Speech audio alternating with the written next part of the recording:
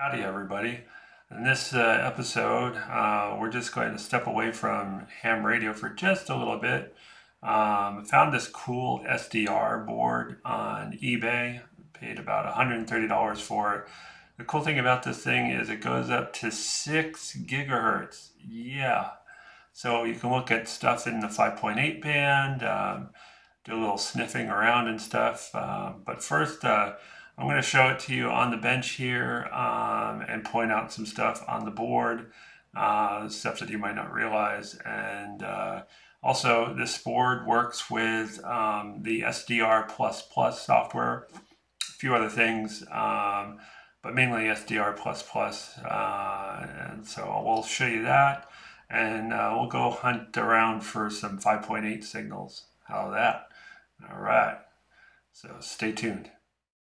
Okay, let's look at this board a little bit closer. You'll uh, you'll like this. It's uh, Ethernet connected to your laptop. What does that mean? Well, that means uh, extremely high bandwidth. Like the uh, RTL SDRs, they only do uh, three megahertz worth of RF bandwidth. That's how much you can look at at one, any one time. Um, the the use of the Ethernet um, to communicate to the SDR software means that this board can capture up to 40 megahertz wide of RF information anywhere in the uh, realm of 100 megahertz all the way up to 6 gigahertz. Actually, I think it goes a little bit lower than 100 megahertz, but basically anything between 100 megahertz and 6 gigahertz this we'll see, and it will also be able to capture 40 megahertz wide band uh, or slice, if you will, and you can see all that on the uh, laptop software. So underneath this heatsink is the Zynq processor, that's uh, ZYNQ. Um, and underneath this heatsink over here is the uh, analog to digital um, converter or A to D. Um, this one is the A to D, or sorry, AD9363, I believe. Uh, I'm going to have to check that. But uh, the cool thing about this is it has um, two RF ins and two RF outs. Uh, meaning this board can TX. It's very low. It's like maybe a milliwatt. Um, but there is software that allow you to create a waveform and then get this thing to transmit on either one of these outs. So dual inputs, dual outputs, um, and it connects via Ethernet um, and requires a USB-C uh, for power. Um, has an SD flash card for its internal firmware you can download the firmware and burn it onto this uh, SD card. Um, and uh, I added an extra little fan. This fan sits here with um, with these uh, standoffs. Created a little standoff setup so that the uh, the fan just kind of floats above the board. It's not really necessary, but uh, it does help with cooling. And this back shell I found um, scrap metal and just kind of like cut it to the shape that would fit the board. Uh, kind of made um, little notches here for each one of the SMAs. But basically, that's the board. Um, again, this is $130 uh, through eBay. Uh, and you have to wait a few days for it to come because I think it comes from uh, China. So uh, it's a great little SDR, uh, and uh, we're going to get to play with it right about now. Okay, just a quick explanation of what's going on here. We have the uh, SDR, and uh, currently have a single antenna connected to one of the antenna inputs. Um, that's this antenna right here, which is just a broadband Yagi antenna. This one goes from uh, 1 gigahertz to 9 gigahertz and uh, you can get these on uh, eBay or Amazon. They're about um, I say 9 or 10 dollars maybe 12 dollars. They're really uh, simple. So we have this thin blue coax connection here on the back. That's a SMA and then it goes back over to here. Uh, we are currently connected with Ethernet cable to the laptop. Uh, the uh, device automatically creates its own IP address uh, for which you configure the software for. In the software, it will show up as Pluto SDR, like Pluto the planet, and then Sierra Delta Romeo. Um, that's just the kind of firmware image that's installed into this unit.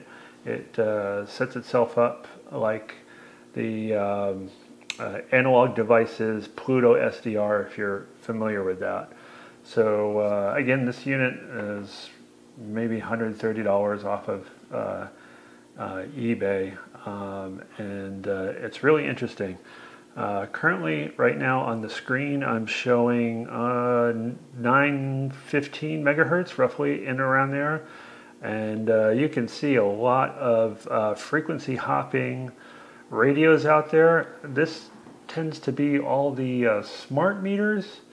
Uh, our neighborhood is full of smart meters, and so what you're seeing is the um, RF output from all those smart meters. There's probably other devices too that are in the 900 megahertz range, um, but that's that's the main main kind or the main stuff that you're going to see. Um, and they, they show as little pulses, uh, pseudo random kind of jumping around in the spectrum between 902 and 928. Um, but uh, what we're going to do is we're going to go up quite high. I'm going to go up to 3875 just to show you something. Uh, let's get there. 3875 stuff along those lines.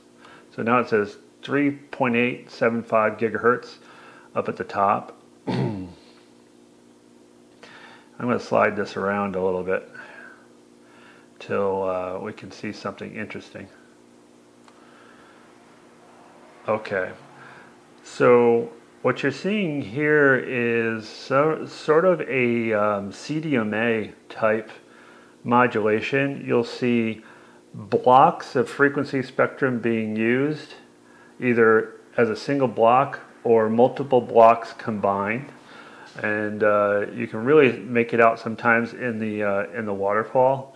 Uh, you'll you can just see in this waterfall a very faint delineation between this frequency block and this frequency block. And a block looks like it's 5 megahertz wide. So that's a 5 megahertz chunk of spectrum that's being used for, for whatever, I'm not even too sure what's that 3.8 gig, but something is out here in my neighborhood with a fairly strong signal. I'm getting a neg 80 on that last burst um, so at 3.86 gigahertz, we're seeing resource blocks being used at specific times. Obviously, the uh, the tower or whatever is in control of um, allocating both frequency resource um, uh, sections or segments and time resource. You know, when when the subscriber or whatever handset is being used at that time uh, the, a, a map for the next, you know, 40 or 80 microseconds is sent to the subscriber, all the subscribers that are on that tower, and it allocates, the mapping allocates when you're allowed to transmit as the subscriber unit and what frequency chunk I want you to transmit at. So that's kind of how CDMA works and also WiMAX and um, uh, LTE cellular.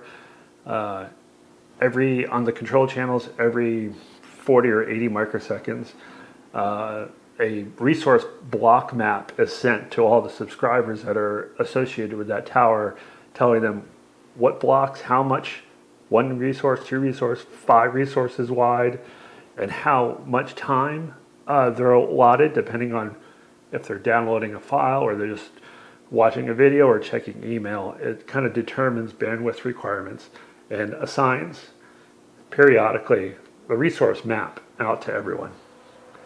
So anyway, what we're seeing here is something in 3.8. Now I'm going to jump up a little bit here. I'm going to go up to uh, 5.7, which is usually the area, sorry, usually the area for Wi-Fi. And uh, in my neighborhood, or it's just because of range issues, I'm not seeing a lot going on in the 5.7 gig area. So I'm just going to scroll down. Uh, I, there's a, a peak here, but I think it's just a birdie. I don't really think that's a real signal. Um, still scrolling by. I don't know if you can see these blue markers, but I implemented those with an XML file within SDR++, and you can title it. Uh, this one says 802.11a channel 157. So if there was a Wi-Fi transmitter using channel 157, we would kind of see it in here as a hump. and uh, we're currently at 5.78 gig. Right here in this region is 5.8 gigahertz. Uh, still not seeing much. Uh, and up here we're at 5.82 gigahertz. So this comes in handy when you want to see if there's a 5.8 gigahertz radio transmitter that's causing you interference. Um, it could be like a um, somebody else's Wi-Fi. It could be another user of the 5.8 band, but this is generally helpful. Uh, this antenna usually works pretty good in that frequency range. I mean, this is good up to 10 gigahertz, the uh, the Yagi antenna. But um, yeah, so let's drop down to uh, 2.4 where I know there's 2.4 stuff because my house has 2.4 equipment and uh, we'll see if we can ah okay so uh, this is 2.424 and that is channel 6 uh, in the 802.11 2.4 band channel 6 is here uh, it looks like there's somebody else on 2.4 1 to 6 and that would probably be channel three. There, there is some overlap because you, you have three that overlaps four, five overlaps. Yes, four overlaps three, five overlaps four, and six overlaps five, but just slightly. Um, if you get two stations or two radio systems that are right next to each other, it can cause problems. So normally people use channel 1, channel 6, and channel 11 because it gives you that extra buffer of maybe probably 20 megahertz between uh, uh, usages of, of that spectrum. But uh, yeah, you can definitely see it very well uh, in here, the, uh, the 2.4 users. There's an, another one up here, uh, another 2.4 band user. So there's a lot of activity going on apparently. Uh, but anyway, I wanted you guys to see the uh, the SDR and uh, uh maybe go and experiment on your own. I'm running uh, Ubuntu Linux. This is Ubuntu 2204-ish. It's it's kind of a derivative. Um, it's called Pop OS, but it's basically the guts of it is Ubuntu 2.4 or Ubuntu 2204, sorry. And um, this is SDR++ version 1.2.1. Um, and it, uh, it automatically detects uh, the SDR as a potential source for um, the uh, waveform information or I and Q data, if you will. Um, and uh, yeah, it makes it a very simple spectrum analyzer that goes up to roughly six gigahertz, um, along with a cheapy antenna. I mean, you can find better Yagis than this, but for eight, nine dollars, th this PC board antenna is perfect for just sniffing the uh, frequencies above 2.4. All right, there you have it. I hope that was fun.